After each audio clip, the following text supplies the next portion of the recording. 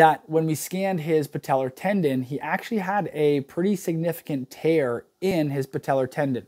Now, um, at this point, we have to step back to understand that maybe this is not painful for him. Uh, because again, our physical exam didn't really suggest that the patellar tendon was involved in his pain.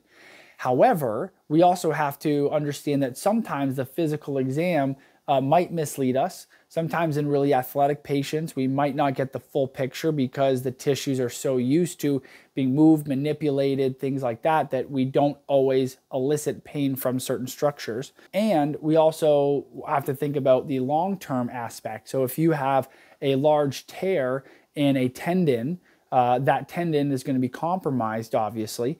And over time, that could progress, progress, progress to where it becomes painful or where it could result in a further tear that could uh, be problematic.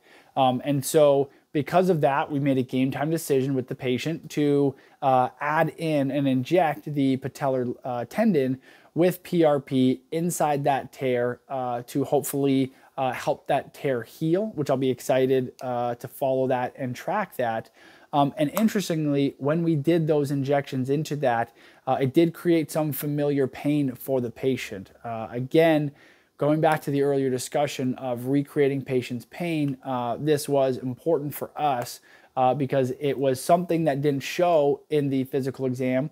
And if I didn't do ultrasound guidance for my for my imaging for my injections, then I wouldn't have known that this tear was there because it also did not show up on his MRI, um, uh, which is rather interesting because it was a, a, uh, pretty significant tear.